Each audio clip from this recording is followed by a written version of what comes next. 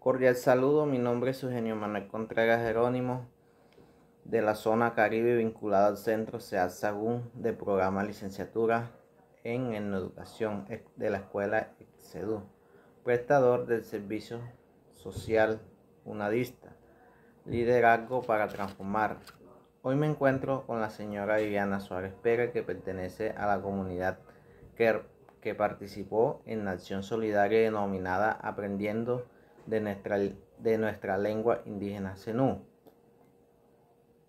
La comunidad que nos acompaña pertenece al municipio de San Andrés de Sotavento, Córdoba, con quienes compartiremos aportes y soluciones apoyando en la temática clases de la lengua indígena sino con el objetivo de revitalizar y mantener viva la lengua sinuma, asegurando que las nuevas generaciones puedan comunicarse y conectar con su identidad cultural abordando a la meta con el objetivo del ODS número 4.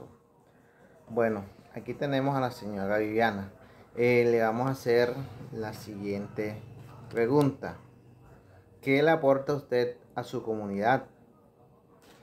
Eh, buenas tardes, eh, mi nombre es Viviana Suárez, pertenece, yo soy Viviana, quien participó en la, durante el desarrollo de la acción solidaria.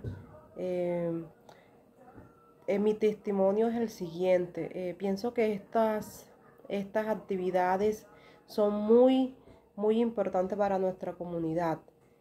Eh, ¿qué, le, ¿Qué me aportó a mí y a mi comunidad? Bueno, a mí me aportó grandes conocimientos, ¿sí? Porque habían unas cosas que yo no sabía, palabras que manejamos como al día a día, pero que no sabíamos realmente cómo nuestra cultura lo tenía, lo decía.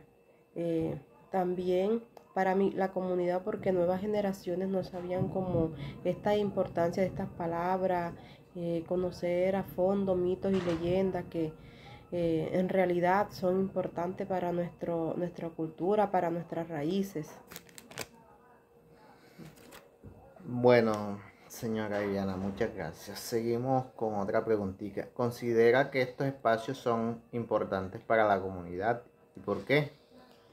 Eh, bueno, estos espacios son muy importantes para, para la comunidad indígena eh, aquí en La Paz porque eh, estos estudios realizados sobre las clases de lengua indígena puedo afirmar que es una iniciativa que aporta significativamente eh, a nuestra comunidad eh, en varios aspectos. En primer lugar, permite que los miembros de la comunidad reconozcan con su identidad cultural y sus raíces. Al aprender y practicar la lengua indígena, no solo preservamos nuestra herencia, sino que también eh, fomentamos un sentido de pertenencia y un orgullo entre nuestros jóvenes. También estas clases contribuyen al fortalecimiento del conocimiento integracional. Los abuelos, los adultos pueden compartir su sabiduría y experiencias con las nuevas generaciones, creando un puente entre el pasado, el futuro y demás. Esto es esencial para mantener viva eh, la lengua en nuestra lengua y asegurar que no se pierda con el paso del tiempo y con, y con la llegada de, la, de, las nuevas tecnologías. Em, estos espacios creados durante las sesiones del taller son cruciales para nuestra comunidad. Eh, estos encuentros no solo facilitan el aprendizaje de nuestra lengua indígena, sino que también promueven la cohesión social y el trabajo en equipo abordando distintas temáticas relacionadas con nuestra cultura. Se genera un diálogo enriquecedor donde todos eh, pudimos compartir eh, nuestras ideas y perspectivas. Bueno, este es mi testimonio y doy gracias, gracias al señor Eugenio por haber llevado esto, estas actividades, estos talleres a, a la comunidad indígena La Paz.